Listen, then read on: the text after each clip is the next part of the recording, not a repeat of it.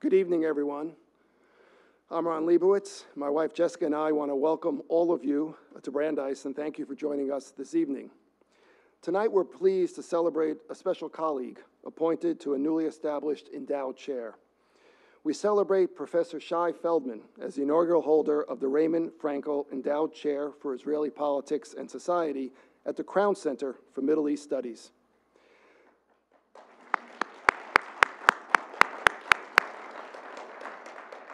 The Frankel Chair was created last year to support a distinguished faculty member whose expertise involves issues related to the state of Israel, its place in the Middle East, and its relationship to the broader region. Shai is the perfect choice to be the first person honored with this appointment. A longtime member of the Brandeis community, he was founding director of the Crown Center for Middle East Studies. We are confident that Shai will continue to carry on and enhance the university's reputation as a leader in understanding Israel, an essential source that can help U.S. policymakers gain insight into the complex issues related to Israel and its role in the Middle East and on the world stage. Once again, let's offer our congratulations to Shai.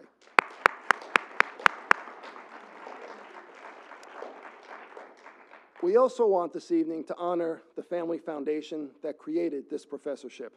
We're delighted that Belinda Frankel is here with us tonight. Belinda is president of the Raymond Frankel Foundation, which was established by her late father, Raymond Frankel, four decades ago. The Frankel Foundation has been deeply committed to Jewish causes and it has been an outstanding supporter of Brandeis. I'm very grateful for the Foundation's visionary support of the work of the Crown Center, especially the Crown Center's interaction with the policy community in Washington, D.C. With Frankel Foundation support, the Crown Center and the Brookings Institution run a joint program for our scholars to provide briefings for mid-career po policy professionals working in Congress and the executive branch.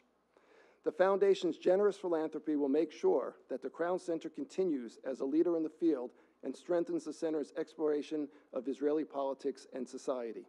I will share more about the Frankel family's history and engagement with Brandeis later on this evening. Alan Meyer is also with us tonight. Alan is a director of the Frankel Foundation and has been instrumental in establishing the professorship we highlight this evening, along with many other academic collaborations with Brandeis and other universities. Alan serves on the Crown Center's advisory board as well.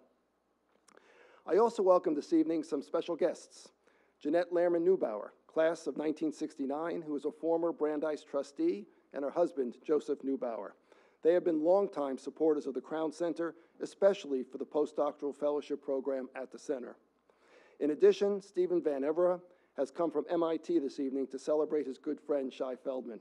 Professor Van Evera is Ford International Professor in MIT's Political Science Department. And also here this evening, Provost Carol Fierke, Jonathan Sarna, University Professor, and John Levisohn, Director of the Jack Joseph and Morton Mandel Center for Studies in Jewish Education and Chair of our Near Eastern and Judaic Studies program. And I welcome all the Brandeis faculty members, administrative students and staff, and other audience members who are here with us this evening to celebrate. But I'd like now to welcome Gary Samore up to the podium. Gary is the Crown Family Director of the Crown Center for Middle East Studies and also Professor of the Practice of Politics. Gary will formally introduce Shai. Gary?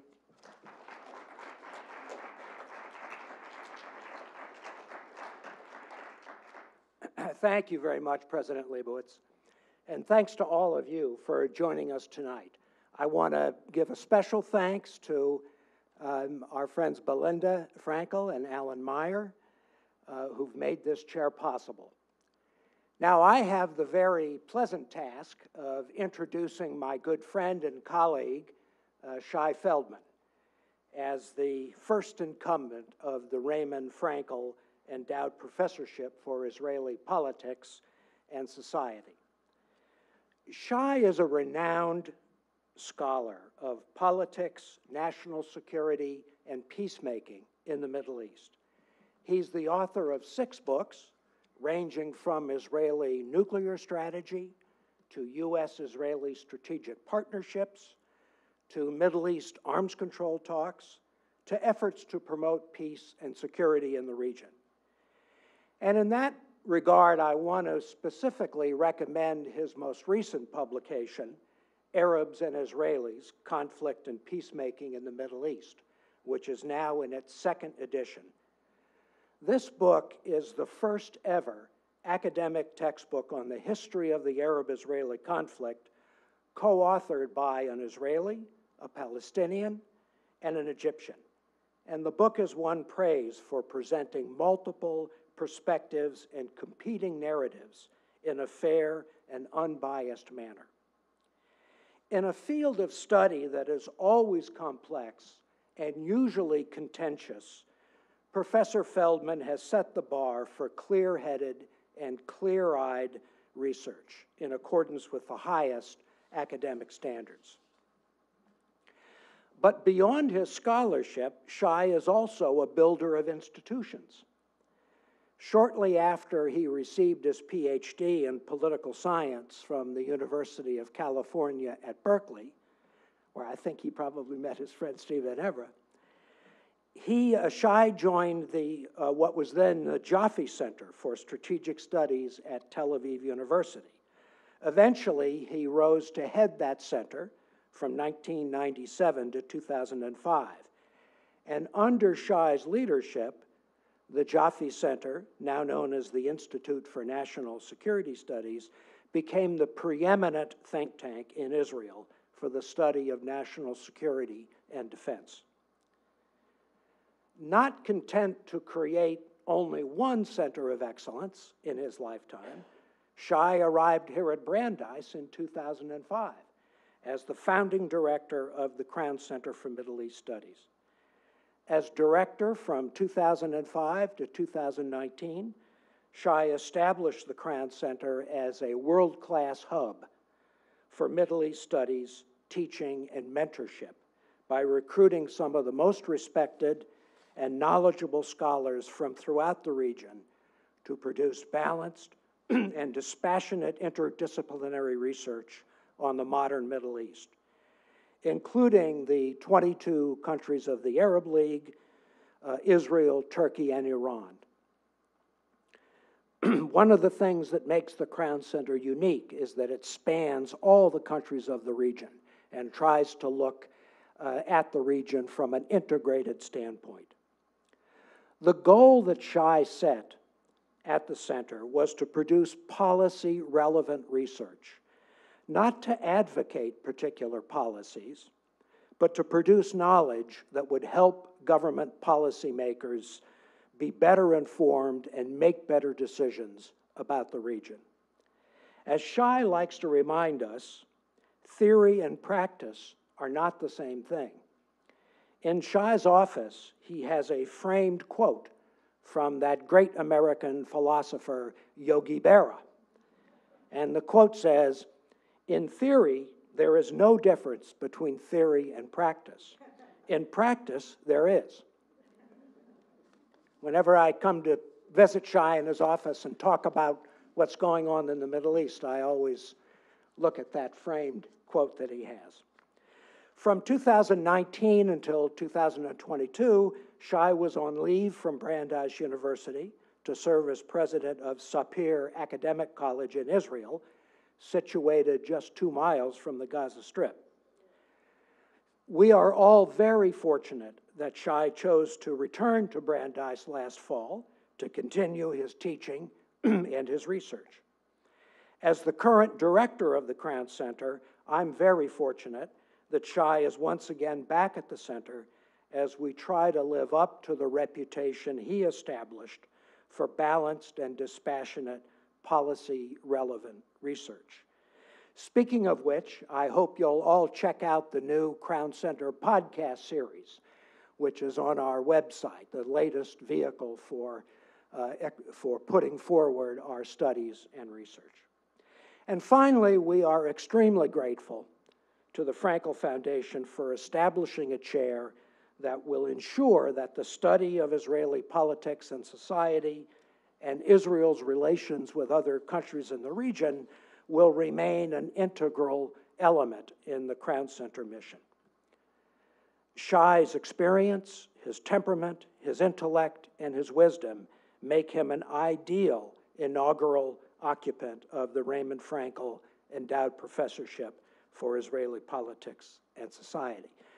So, with that pleasant duty uh, having been taken care of, Shai, I'm delighted to uh, welcome you at the podium for your very timely lecture.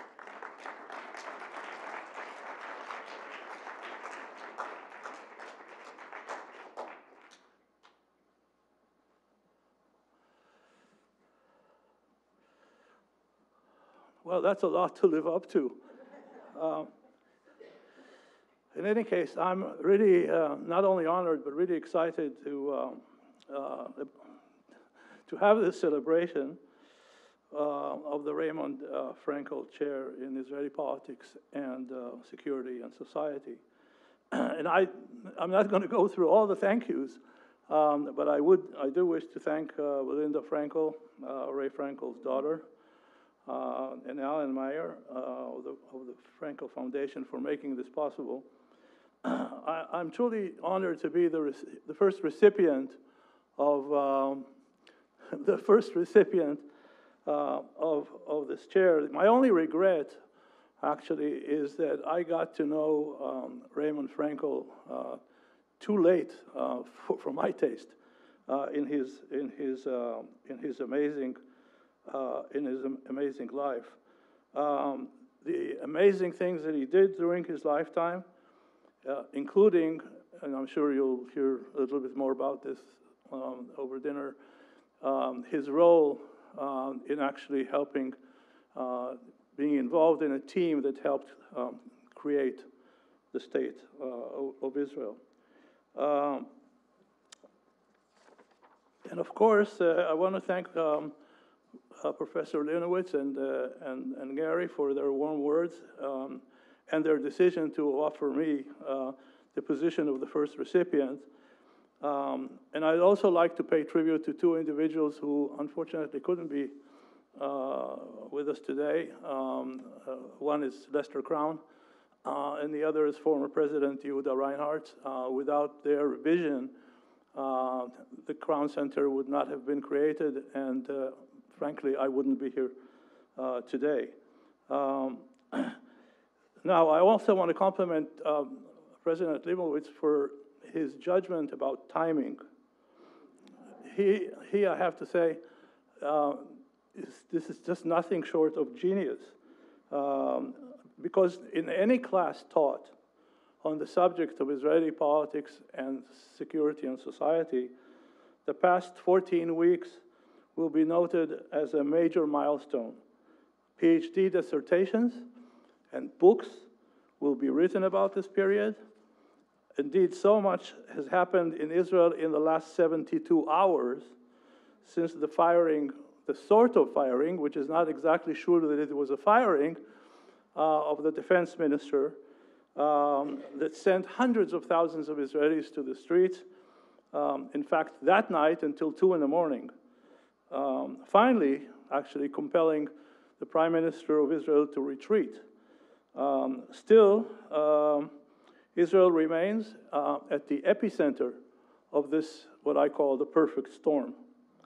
In fact, in the last 72 hours, I thought maybe I'll change the title to a tsunami. Um, now, uh, I titled this at 75 uh, uh, Israel, a miracle in a perfect storm.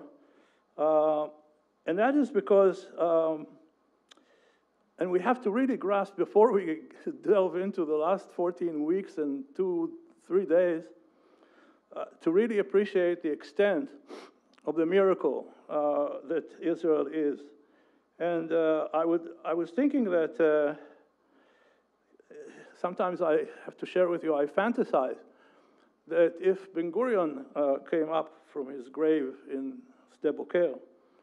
And I would have been chosen to be the lucky one to brief him on what happened to this thing that he established on May 15, 1948. Uh, I would say my wild guess is that even Ben Gurion, who was really a pessimist, would have said, for only 75 years, not bad. So, what are, what are the making of this miracle? First of all, on the economic, the economic miracle, Israel's uh, GDP, gross domestic product, already in 2021 reached $488 billion, which was, I'll say this slowly, 1,860% increase, 1,080, 1,860% increase since 1980. France uh, grew during the same period by 246%, Germany by 361%. Per capita income, Israel uh, the Israeli average Israeli in 2021 reached $52,151 to be precise, according to whatever. And that's a 720% increase since 1980. Israel's GDP per capita actually is larger than uh, Germany's and France.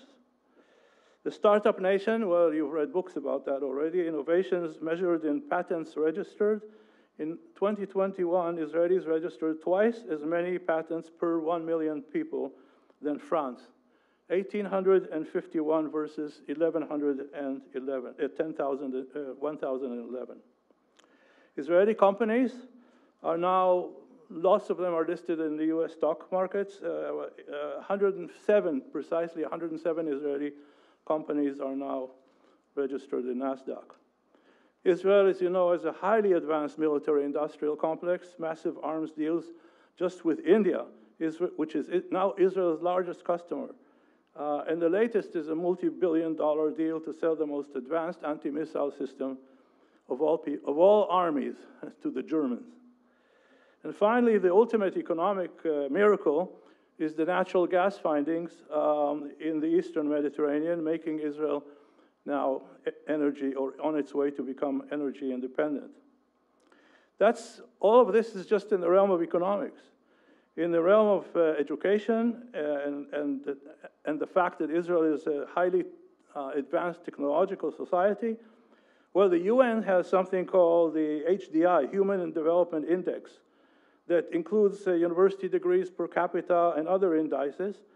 In 2021, Israel was ranked 22 uh, uh, with a score of 0.919, whatever that means. Uh, France was ranked 28 with a score of whatever, six notches below Israel. Oh, right, with a score of 0.903. Israel, uh, on the peace realm, Israel uh, now has um, peace with Egypt and Jordan that lasted 44 and 29 years, respectively. In 2002, the same Arab League that made the decision in 1948 to invade Palestine to prevent the Jewish state from coming about uh, adopted the so called Arab Peace Initiative that basically told Israel, under these and these conditions, we are willing not only to sign agreements with you, but to embrace you uh, into the Middle East. And now in 2020, with the Abraham Accords, four additional countries uh, in the Arab world Bahrain, the Emirates, Morocco, and Sudan signed peace and normalization agreements with Israel. And now Israel also enjoyed, enjoys uh, close but undeclared uh, relations with Saudi Arabia and Oman. In addition, Israel is now party to something called the Eastern Mediterranean Energy Coalition, which brings together uh, Israel and Egypt and Greece and Cyprus and Jordan. The most uh, recent breakthrough in this realm is actually the Israeli Lebanese agreement that was brokered uh, just a few months ago um, delineating the economic boundaries between the two countries, allowing both countries to exploit the natural gas fields of the Eastern Mediterranean. The reason why this is a breakthrough is because there is no such thing as an agreement with Lebanon. This is de facto an agreement with Hezbollah because, there, because there is, the Lebanese government cannot sign today anything without Hezbollah's approval. There is extensive defense cooperation between Israel with its, some of its neighbors, with Jordan, uh, coordinating the fighting uh, against ISIS and everything related to the southern part of Syria, with Egypt regarding terrorism in the Sinai, with Abu Dhabi, the installation of an Israeli state-of-the-art anti-rocket system in, in Abu Dhabi after the Houthi cruise missile attacks against the Aramco installations in Saudi Arabia. With Bahrain, there's also closer relationship, close relationship between the Israeli and the Bahraini uh, navies um, and air forces. And finally, with Morocco, a whole series of defense cooperation agreements were signed in the last few months. U.S.-Israeli relations, there are people in this audience that know more about this than I do. I'll just say, especially since 1979, when the U.S. Congress declared Israel a major non-NATO ally, and President under President Reagan, a whole sign, uh, an array of uh, memorandums of understanding and memorandums of agreements uh, were signed in the realm of strategic cooperation between the two countries. Uh, in 1991, you had the first actual stationing of American troops in Israel, in Israel's defense during the first, uh, the first Gulf War. And even during Obama, the Obama administration, a major uh, uh, leap forward when the first time the two countries, according to foreign sources, um, actually conducted foreign uh, complete uh, operations together, mostly in the realm of cyber, the, the famous Stuxnet or whatever, um, attack on the Iranian uh, nuclear reactors. Um, during um, the Trump-Biden administrations, Israel, as you know, mo was moved from EUCOM from the European Command to CENTCOM to the Central Command, which actually puts Israel now and the Arab countries in one uh, same framework, same umbrella in U.S. defense thinking and defense uh, planning. Not, not less miraculous, and for me personally, not less important, uh, is what happened in the Israeli cultural scene. It's exploding.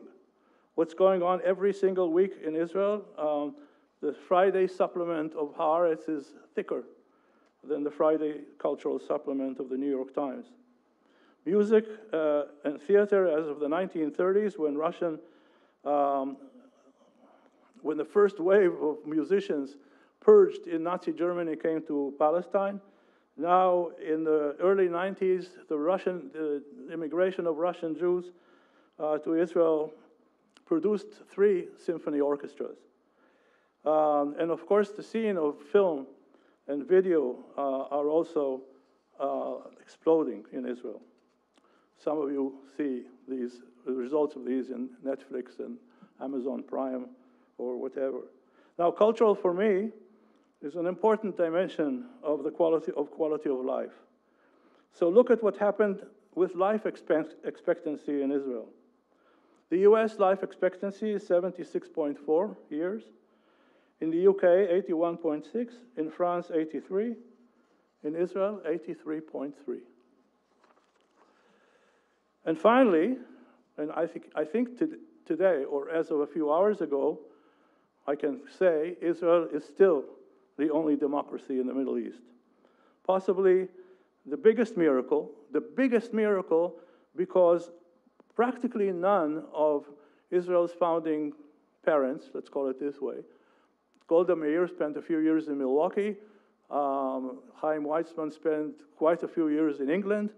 Everybody else among the leaders of the Zionist movement came from countries with no history uh, in democracy. Um, so to me, this is the biggest uh, uh, miracle of all. Now the miracle, as I said, finds itself in the epicenter of the perfect storm. During the past 14 weeks, uh, as you know, Israel experienced mass protests, the likes of which we have actually never seen before. Um, a quarter of a million, Saturday after Saturday evening, is given the population ratios between Israel and the United States is equivalent to eight and a half million people. Who are they? A coalition of many, many civil society groups some of them didn't even exist until 12 weeks ago. Uh, leaders of, uh, and, and they are pillars of the Israeli elite, leaders of Israel's financial community and industrial sector, physicians, lawyers, judges, startup nations, high techers, uh, and of course the, the Israeli Armed Forces reservists, veterans of the Air Force, the Navy, Israel Special Forces, as well as the Mossad and the Shabak. What are these hundreds of thousands of people protesting? What makes this a perfect storm? What makes it a perfect storm is essentially an, an accumulation of six different issues. One is the judiciary revolution, reform according to the government, uh, that seeks essentially to redistribute power between Israel's judiciary and its legislative and executive branches, primarily in three ways. One, by changing the process of, of, of nominating judges, by giving politicians a much greater role uh, than before. Um, number two, by curtailing the power of the Supreme Court to strike down laws by, that were passed by the Knesset. Uh, currently, the, security, the uh, Supreme Court can strike down a Knesset law if it judges that it contradicts one of Israel's basic laws. Viewing themselves as representing, quote, the will of the people, the proponents of the reform view such Supreme Court strike downs as distorting the will of the people. The third component of the reform is the proposed elimination of the judge's liberty to rule what constitutes reasonable conduct. In a nutshell, the story is this in the absence of a constitution, which Israel does not have, and especially in, case, in cases where there is no real, real precedent, the Supreme Court took upon itself to judge whether government officials' behavior or conduct should be regarded as reasonable or not. The proposed new legislation will deprive the Supreme Court from its liberty to issue such rulings, that is to say, based on their judgments of reasonableness. These three facets of the reform or overall are just three facets. There are, in addition to that, a, um, a tsunami of, of uh, legislative proposals that basically all legalize corruption.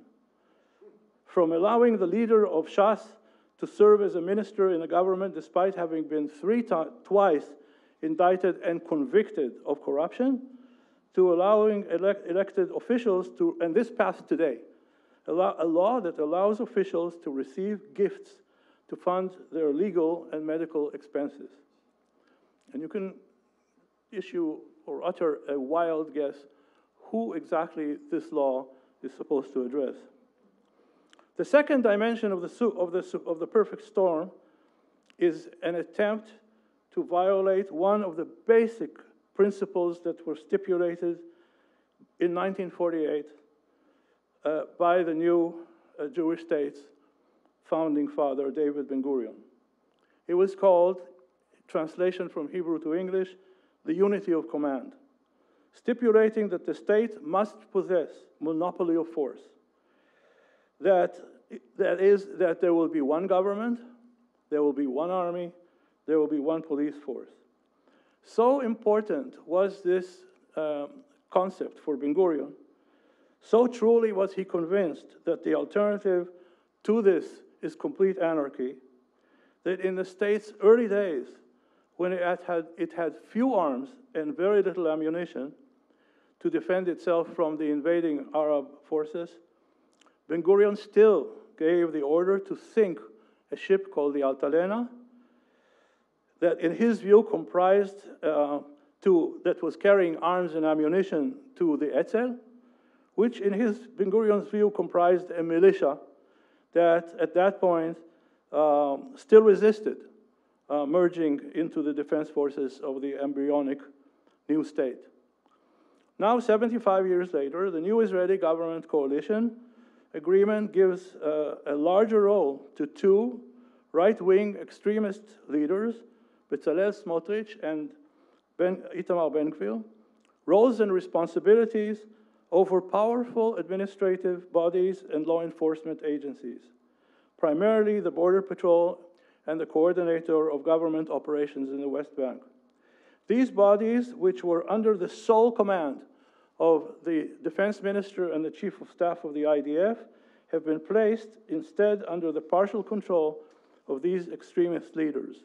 The combination of these individuals' control over these bodies with their extremist views is nothing but toxic. It allows them to inflame the, Palestinian Israeli relations by pushing policies that encourage violence and by discouraging Israel's security bodies, especially the police, to stabilize, calm, and avoid escalation in these relations. The third issue comprising the perfect storm is the recent escalation and, uh, and deterioration in Israeli Palestinian relations. Not only accelerating the, like, the, the, the likely slide towards a one, uh, one state solution or one state reality, um, but also threatening the sus- sustainability of the Abraham Accords uh, because of this slide. This slide is not entirely new. It's been brewing through the tenure of a number of Israeli governments. Khalil Shikaki and I wrote a Crown Center Middle East brief a few, quite a few years ago um, about uh, this slide. Um, and the causes for it are located as much on the Palestinian side than on the Israeli side, with the diminishing credibility of the Palestinian Authority, its president, and its security forces. Um, however, uh, this slide is now accelerating um, under and, and, and, and essentially uh, because of the view of these new members of the government, uh, it undermines all efforts, especially all efforts to protect and defend the occupied Palestinian population from the violence exercised by extremist uh, settlers, as happened three weeks ago in a town called Hawara, where settlers went on a rampage uh, that in my high school education, which I still remember, was called the pogrom. Uh, in response to the murderous, uh, to the murderous killing uh, of two Israelis by a Palestinian terrorist. Um, I have to say, in literature classes, again, that I still remember in elementary school and high school, uh, we had to read uh, the poetry of, uh, of Bialik and Tchernichovsky, describing the horrific pogroms to which Jews in Eastern Europe uh, were subjected. And now an Israeli state finds itself complicit in these, in, in not exactly similar, this, the level of, of, of, uh, of uh, massacre is, not the same as what happened when Cossacks attacked Jewish shtetls in, in the diaspora, but bad enough. And if this wasn't bad enough, I would say it pales in comparison to the fact that after seven or eight uh, of the violent settlers were actually apprehended by the Israeli police, some 50 members of Knesset, 50 members of Knesset and some cabinet ministers signed a shameful petition calling for their release. The fourth issue is burden sharing. At its core is a new draft law that would exempt Haredi students in yeshivot uh, from military service. Again, this problem is not new. This problem existed from the first days of the state. But even if you look only at the last 32 years, so the, number, the, the, the, the percent of males that were exempted from military service in 1992 cohort was 4%. The, the number has already reached 16.4%. And that's before this law is enacted. So, uh, and of course, what exactly will be the percentage once this law is, is, is, uh, is enacted is anybody's guess. So, of course, hundreds of largely secular Israelis are now in the streets protesting. Protesting this in addition to everything else that I already mentioned. The fifth uh, dimension of the perfect storm is Israel's most important, is, has to do with Israel's most important alliance, which is with the United States and the American Jewish community. Well, finally, after the prime minister retreated a few days ago, no, 24 hours ago, uh, the American ambassador to Israel, for the first time, did not exclude the possibility that actually Netanyahu will get finally some invitation to the White House. But all this now, we have to, again, make sure we don't confuse. Relationship between the prime minister and the president of the United States is not similar to the relations between Israel and the US, and especially it's not similar to the relationship between the Israeli defense community and the American defense community. during the height of tensions between the United States, uh, between Netanyahu in the previous incarnation and President Obama, the relations between the Israeli and American defense community became even closer and closer uh, and closer. Um, but still, we have to remember that these relationships were based on the idea of common values, on the fact that, uh, that we are two liberal democracies, or at least until now we are, two nations of immigrants, two countries who fought and won liberty from, and independence from the British Empire, and in recent decades, uh, two countries who are in, in, uh, challenged by Islamic terrorism. So all of this, uh, now we've had a you know, whole list of warnings from the White House and people close to President Biden, including the invitation that until now at least wasn't issued yet. The sixth and final dimension of the perfect storm is the ever developing Iranian nuclear threat. We are currently yet at another new phase uh, of, this, of the development of this threat, um, with the International Atomic Energy discovering that um, at least in one facility, Iran has enriched uranium to 84%. And only last Thursday, testifying uh, to the US Congress, General Mark Milley, the chairman of the Joint Chiefs, uh, said that Iran is only two weeks away from producing enough fissile material to produce a bomb, and only a few months away from producing real nuclear weapons. So even in terms of the assessments, the two countries are now very close uh, together. Iran is, we have to remember, Iran is not Iraq and it's not Syria. It is significantly farther away. It has many more facilities than either Iraq had or Syria had, and at least one of them is dug deeply, deeply underground. If these six dimensions weren't enough, the government and its right wing supporters poured more fuel on the fire, more rain on the perfect storm, more wind on the tsunami, and apologies for the mixed metaphors, by depicting the protesters as quote unquote anarchists, with some, especially the prime minister's son, using much harsher language in an attempt at massive character assassination of the protesters. So, anarchists, the protesters responded by the tens of thousands in disbelief, you don't have actually an Air Force, a Navy, an intel community, and special forces without us anarchists. But in all of this, by the way, and with this I will end, there is some very, very good news. In the short term, almost all of Israel's war ended with the adversary asking for a truce or a ceasefire. This time, the Israeli government asked the Israeli people for a truce for a ceasefire and allowed negotiations that began today to begin. These negotiations will initially focus on only one of the many issues that comprise the perfect storm, which is the legal issue. Uh, but, so what, which means that the struggle uh, is not over. But much more important are the longer term good news.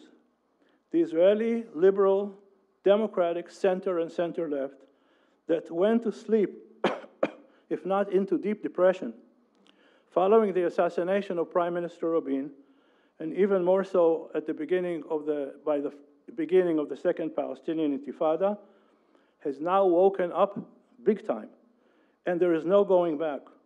It has finally realized that it cannot permit the committed, active, mobilized right wing to dominate the country that notwithstanding their amazing achievements as reservists who build an Air Force, build a Navy, build an armored corps, special forces and an intelligence community second to none, they that can defend the country, as Prime Minister Barak used to say, against any contingency, they must also be prepared to be mobilized, to, the, to be called up to do reserve service in the struggle over the character of the state, of the character of the state that they're defending, over what kind of a state they want Israel to be. In attempting to go too far in the service of an agenda far too extremist, the right wing did a great service. It woke up the Israeli center and center left. And the latter will not leave the new battlefield if there is no, and there is no going back, as I said. So, the, so I conclude by saying textbook writers, myself included, will have to write a new chapter, uh, at, at, or at the very least, uh, of, of at, at the very least, Israel's social history. And with this, I will end. Thank you.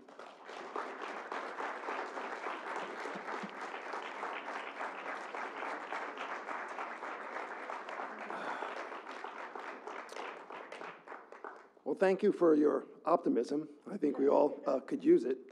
And uh, I should say the 14-week period you mentioned brings reminds me that we were Jessica, myself, our kids, and also Shai was were in Israel all at the same time in December. And I remember coming back to Brandeis to sort of confirm um, this lecture. And I remember the email that I received from uh, Shai just days after coming back, where he said, "Forget about it." He said, "The place has changed dramatically since you left." That's what you said, and it was literally days. Thank you so much for that really tour de force and giving all of us, uh, even those of us who have been so tied to uh, the news, watching everything day to day, to give us your sense and also to illuminate so many of the issues that Israel faces. For now, though, I'd like to bring you back up here and present to you this ceremonial chair that we do here at Brandeis for endowed professors. So please come on up. And it is an engraved chair. It's an engraved chair. Yeah. Excuse me? Yes, Belinda and Alan can come up, and also Gary as well to come up and take a picture with you. And this is a, uh, a chair that we give to our endowed professors. It's engraved with the name of the endowed professor as well. So sit down. You have to sit down. That's where you're going to be. We'll take a picture around you. It's your chair. And really, I speak on behalf of everyone here at Brandeis, and I guess I'm a relative newcomer compared to some of you, but in any case, Shai, everything you've contributed to Brandeis, we're really grateful. Congratulations.